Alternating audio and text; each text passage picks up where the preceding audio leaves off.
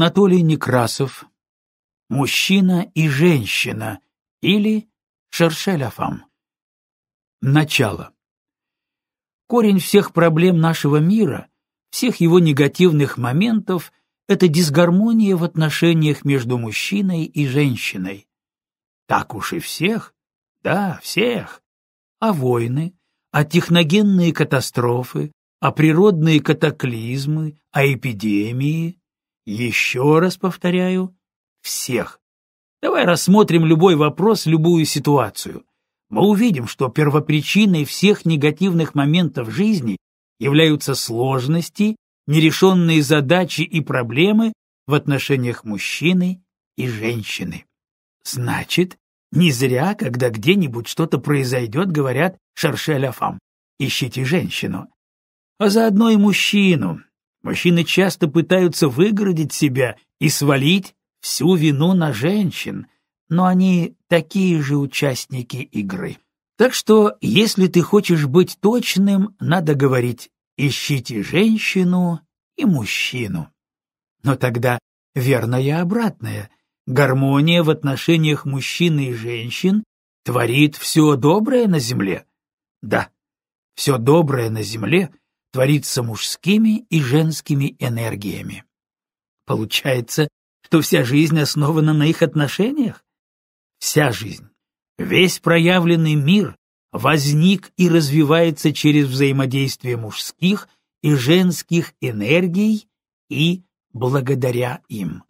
Вот такой неожиданный диалог состоялся у меня в поезде с одним из попутчиков. Я как-то неожиданно для себя произносил слова, которые никому раньше не говорил.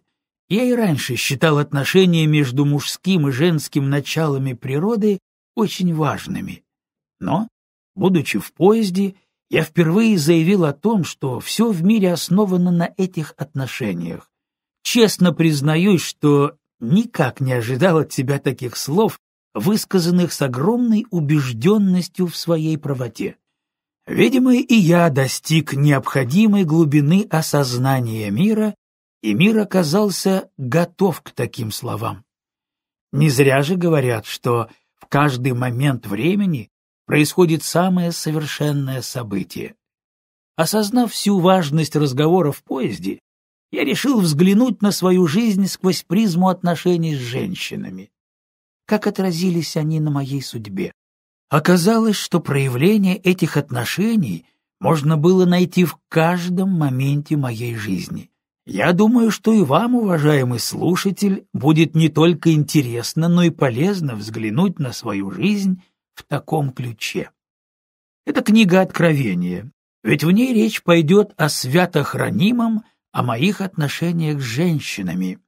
Я делюсь своим жизненным опытом в надежде обрести новое, более глубокое понимание этой важнейшей сферы жизни. Ведь когда ты отдаешь людям нечто важное, то и получаешь в ответ во много раз больше. Я давно заметил, что каждая написанная книга позволяет мне открыть новые тайны мира и делает мою жизнь еще богаче. Искренне написанные книги помогают другим людям лучше разобраться со своей жизнью. И от этого пребывает счастье во всем мире, и каждая его крупинка добавляет счастья и мне.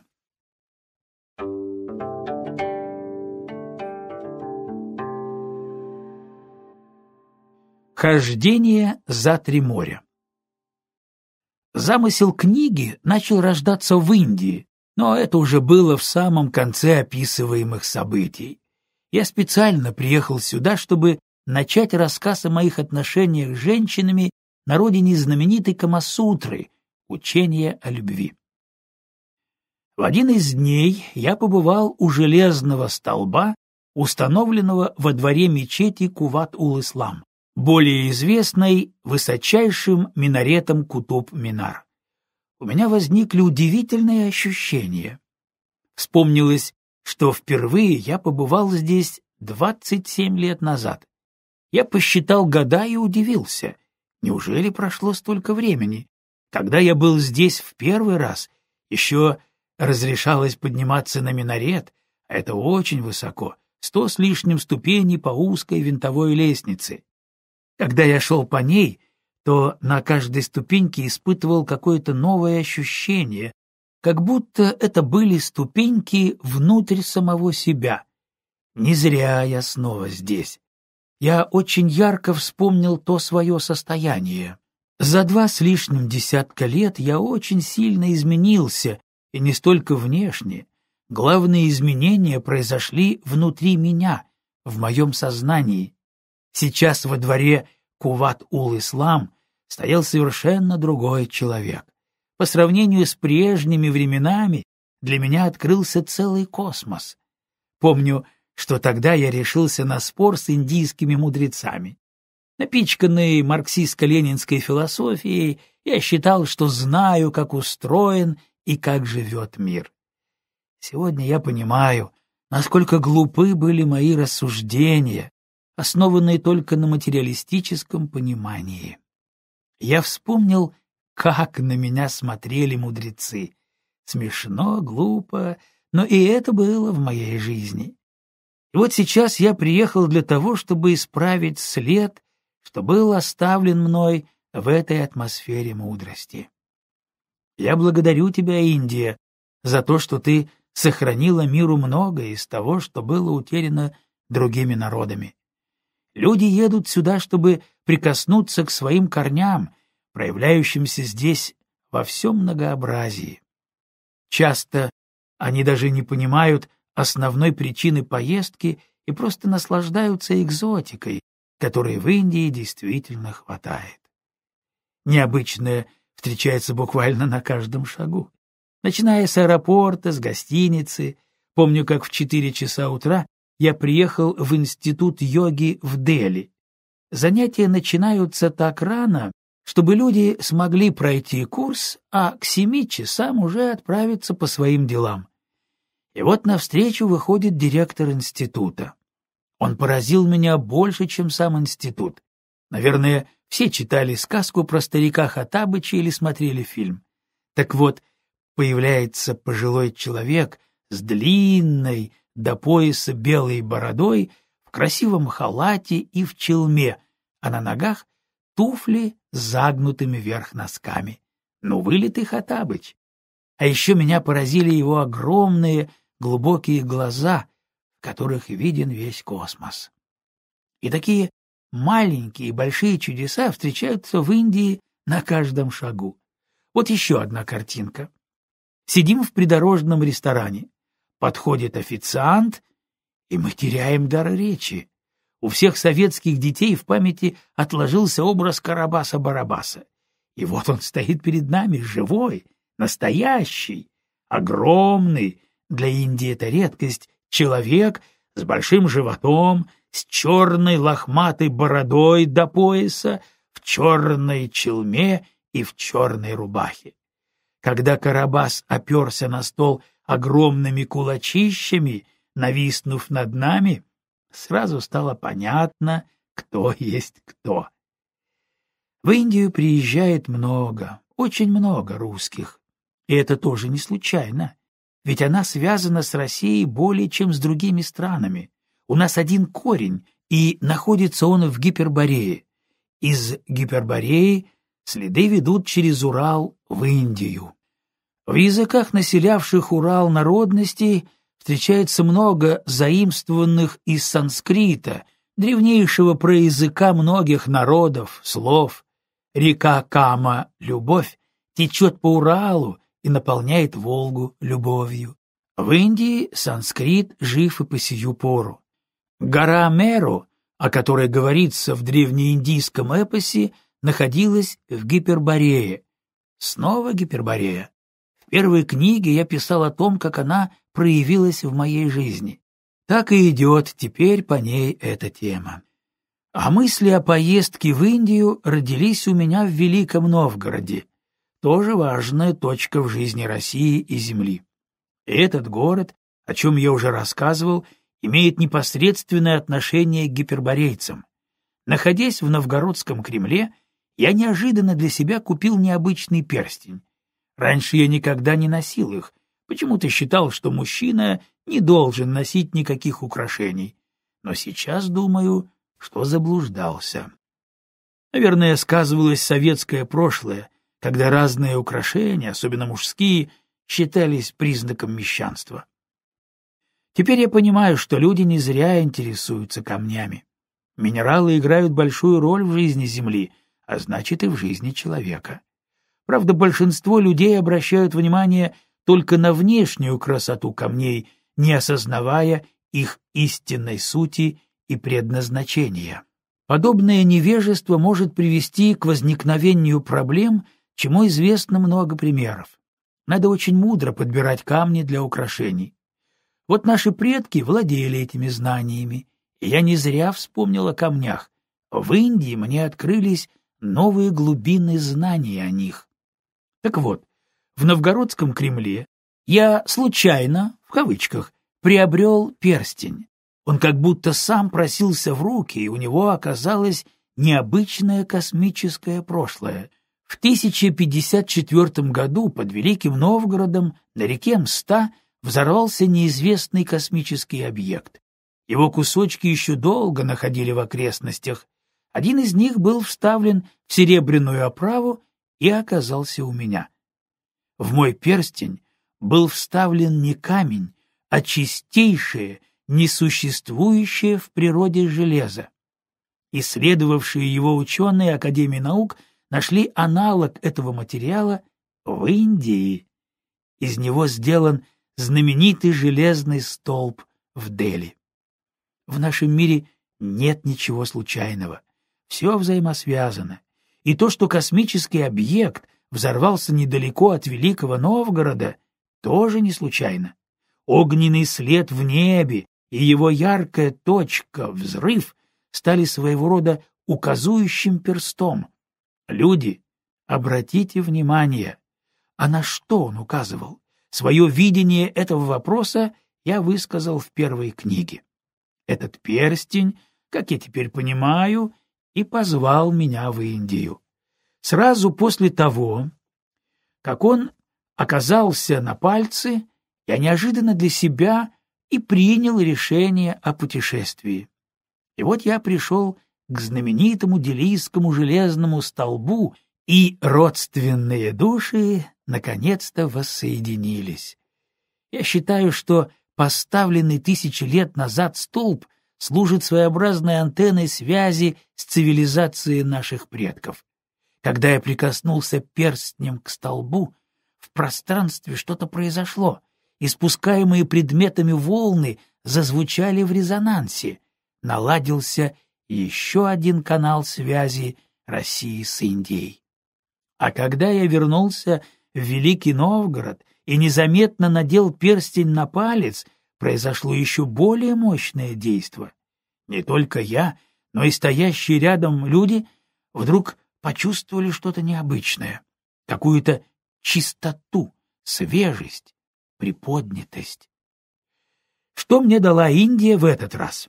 Многое, очень многое. Но главное, пожалуй, то, что через древнюю ведическую культуру мне открылась важная грань отношений мужчины и женщины, уходящая корнями в само начало цивилизации. И этот источник, в отличие от большинства других, менее замутнен, более чист. Он является основой многих других источников. Сама поездка началась с женщины. Женщины сопровождали меня и во время путешествия. Об этом я расскажу чуть позже, а пока вернусь к самому началу, к своему детству, потому что именно тогда начали закладываться мои отношения с женщинами.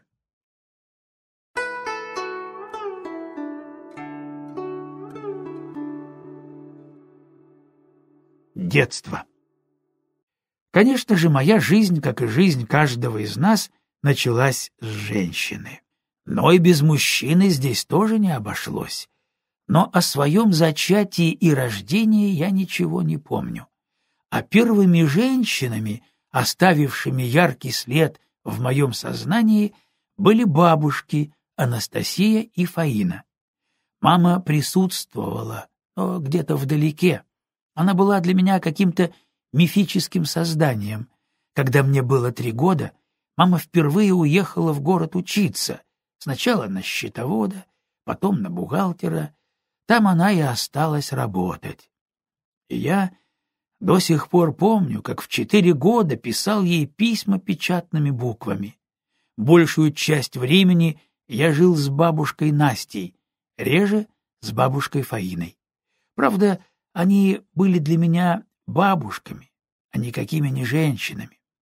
Как женщин я их не воспринимал, и в этом беда многих.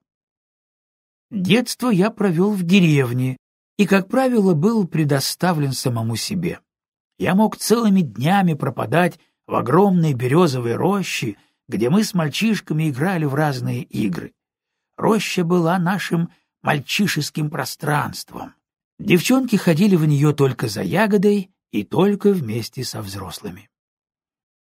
Женщину в матери я разглядел после двенадцати лет, когда сам стал входить в мужское состояние. В это время я переехал жить к ней в город. Теперь я понимаю, что в детстве меня специально отводили от нее, чтобы мощный волевой характер мамы не помешал формированию моей индивидуальности.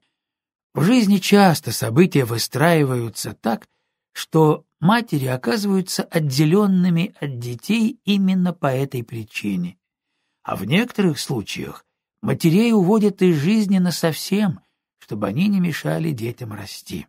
Забегая вперед, скажу, что настоящей женщиной моя мать стала после 70 лет. И замечательно, Лучше поздно, чем никогда. Ведь большинству так и не удается испытать это состояние.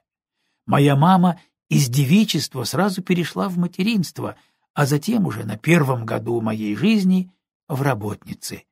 Так и работала, не покладая рук, до 70 лет. Это типичная для российских женщин история.